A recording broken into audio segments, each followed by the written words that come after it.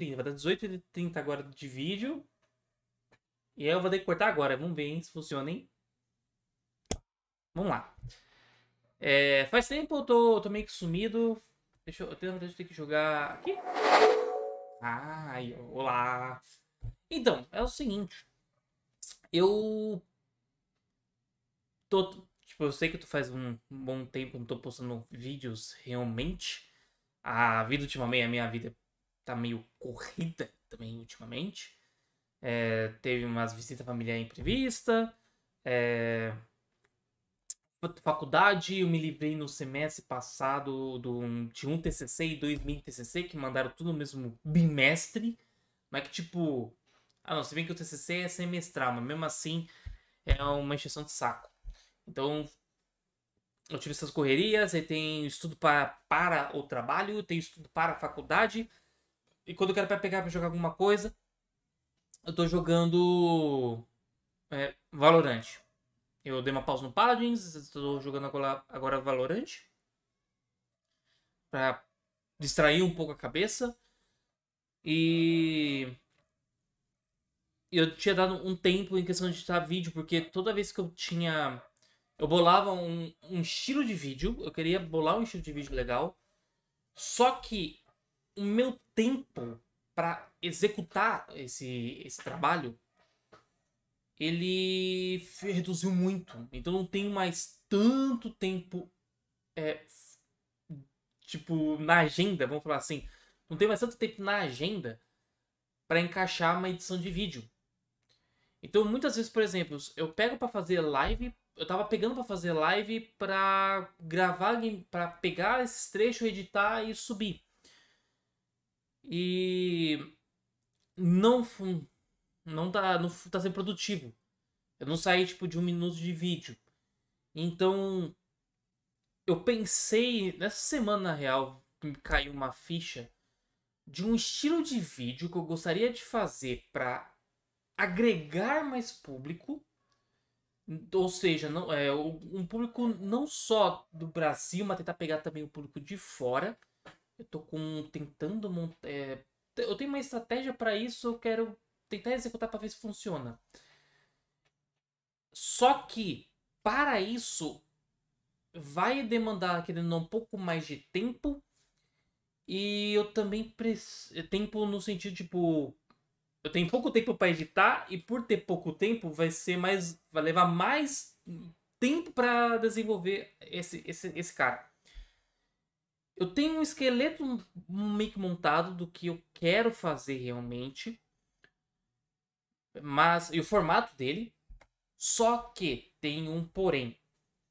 Eu preciso é, do jogo. De um jogo. Eu preciso de um jogo para isso. É, por isso que eu tinha até perguntado no Discord, para quem acompanhou no Discord. É, para quem respondeu também, agradeço. Uma, uma pesquisa bobinha para ver, tipo, ah, qual é período é, qual, quanto tempo de vídeo o pessoal, o gosta de assistir e tal. E não é um período muito grande. Né? Tem gente que gosta de. Um, um outro gosta de vídeo muito longo. Ah, qual é o estilo de vídeo que curte quando você tá de videogame. Porque eu tentei, eu tentei fazer um pouco desse ULC, né? Uma loucura como se transformar em uma coisa de é, fazer 100% dos jogos. Só que tem um, um porém muito grande. Devo fazer 100% de um jogo atual é. É um. Cara. É um desgosto. Eu acho que essa palavra é certa. Porque, tipo, você jogar. Tipo, você jogou um jogo. Ah, gostei de jogar tal, gostei da campanha. Tá, beleza. Aí você se, ficar preso para fazer o 100% dele é tipo, putz, eu não posso jogar outro jogo até fazer o 100% daquele, porque se eu não fizer 100% daquele logo, vai ficar, vai ficar chato. É, é um pouco complicado, fica um pouco chato de, é, de continuar fazendo vídeo, porque eu tenho que continuar com ânimo para continuar fazendo esse estilo de vídeo. Então, aí eu descobri, né, teve canais que eu descobri recentemente que tá fazendo vídeo de é, de completar os achievements de jogos que eles jog, jogaram quando era mais novo. Então, tipo, faz 6, 7 anos que ele jogou o jogo. Aí fala, ah, pô, eu tenho 3, 4 achievements pra liberar, eu vou rejogar esse jogo.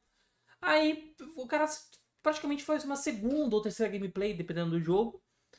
E tenta completar esse resto de achievement. O que acaba sendo legal, pelo dependendo do ritmo que o cara edita, tem gente que edita num ritmo tipo. Caramba. É, é, eu vejo muito isso no Facebook, cara. Um ritmo muito no Facebook que eu vejo é do. Ah, no Mr. Beast. Não me... É Mr. Beast, se não me engano o nome do, do criador. Que é o, que é o, o influencer bilionário, milionário. Que o cara direto no, no tipo Facebook. É, eu vejo mais no Facebook. Eu sei que ele tem um canal de, de YouTube, eu sei que ele tem um canal é, é, de jogos e tem um canal do, das coisas que ele faz. É, ah, eu tenho. Gastei 100, sei lá. Eu gastei 100 mil. Ó, essa aqui é uma caixa de. Uma caixa surpresa de 100 mil dólares. E essa aqui é uma caixinha de 10 dólares. O que tem nessas caixinhas? Então, tipo, eu, esse é um ritmo de vídeo bem trabalhoso. Porque, além de ser trabalhoso, e, tipo, ainda mais para o público de Facebook, é, eu, eu, eu tava percebendo também esses últimos tempos, público de shorts, né? Vou incluir também os shorts, não deveria, mas vou incluir. Shorts, Facebook, é, Shorts, Facebook, YouTube. Ah, não, caramba, não. Desculpa, é Shorts, Facebook, TikTok Instagram, né? Que agora tá por causa do TikTok e tem o Kawaii também. Por causa do TikTok do Kawaii, as coisas meio que bombaram. É... Você tem que fazer vídeos com legendas. Por quê? É, é compre... Por um lado, é até compreensível. Não só por questão de acessibilidade, mas também porque tem muita gente que assiste no celular e deixa o volume no máximo. Não sabe usar fone de ouvido, ou realmente é uma pessoa um pouco mais de idade, não tem hábito de usar fone de ouvido mesmo, quer ficar ouvindo com o celular e ficar assim com o celular, ó. Tipo, a ouvir. Então, é plausível. Por quê? A pessoa, ao invés de ficar assim e ficar vendo vídeo e ficar ouvindo, ficar vendo vídeo, não, ele só lê a legenda. Ele lê a legenda e vê o que acontece na, na, na tela, já sabe o que, do qual contexto. E você tem. Então você tem dois tipos de ritmo que, os, que eu vejo nesse tipo de vídeo mais popular, né? É, que aí eu creio que também vai. Tudo bem que no caso do Mr. Vídeo o cara pega, paga bem. Né? Pagar muito bem editor pra isso. Mas você tem um hit, tem dois ritmos. Você tem um ritmo dos textos para impactar e chamar a atenção de quem tá lendo.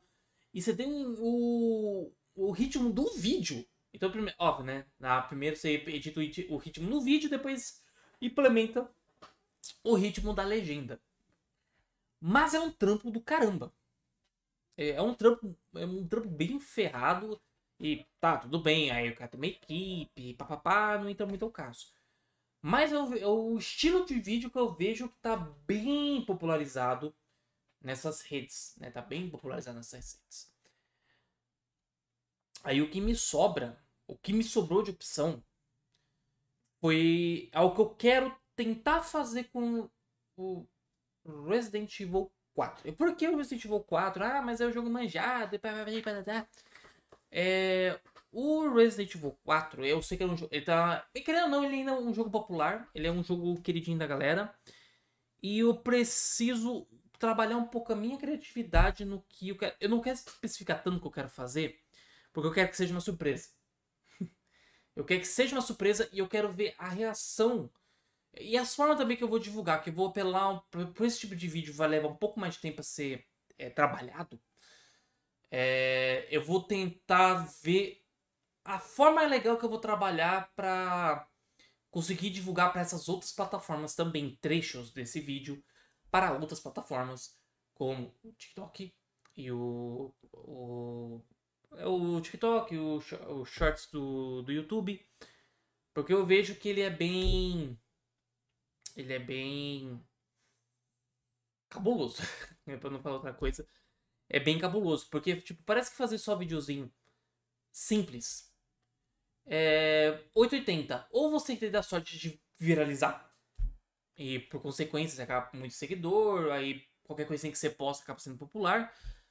E muda, e você pode mudar sua vida, tipo, que foi o luva de pedreiro. Foi um, é um cara que tava com luva de pedreiro e defendia. E ele defende. Não, eu acho que ele não é defendia, ele chutava, defendia, agora não lembro. Tipo, ele, ele ficou popular pelo receba. Eu acho que ele fazia uns gols bonitos e fazia receba. Eu não lembro realmente. Olha que ele é um meme recente. É... Então, viralizou e o cara foi conhecido por uma única coisa. Esse cara do Luva de Pedreiro me lembra um pouco da época quando o YouTube começou realmente a bombar. Na época do Psy. Pra quem não lembra do Psy, é aquele do Opangang Style. Tum, tum, tum, tum, tum. Nem posso nem cantar, senão é capaz de tomar flag ainda. É... Mas então, esse cara em específico, ele ficou bem popular no YouTube. E por uma música, tipo, cara, foi uma das músicas mais tocadas, cara, tocou pra tudo, lado daquela. É, é, tipo, e um videoclipe mais bizarro, e tipo, acabou viralizando mais ainda. É o. É o videoclipe. O videoclipe viralizou pra caramba. Então. É. Eu, eu quero. Não digo que quero viralizar, mas eu quero tentar expandir um pouco o meu conteúdo. Porque eu não vou falar. Eu, eu, eu, acho difícil, eu tenho que dar uma confirmada. Mas eu creio que não tem muita gente de fora do Brasil que é inscrito no meu canal. Tem um outro que eu creio que, me, que, que é inscrito por causa dos vídeos do som do, de long play, né? Meus vídeos de long play de jogos Java.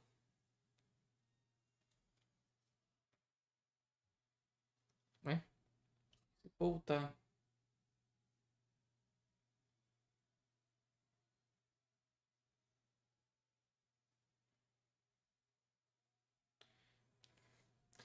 É...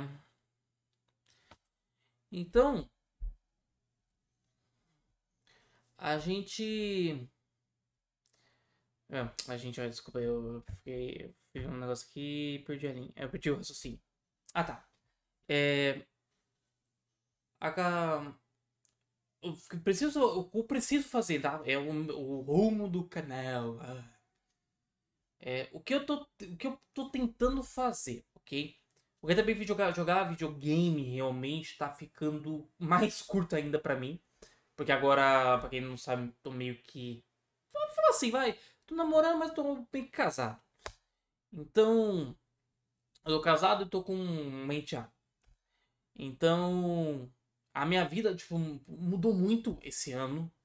E eu tenho que. Eu ainda tô nessa adaptação de, de ritmo na minha mudança de. dessa mudança de vida, que foi uma mudança bem grande.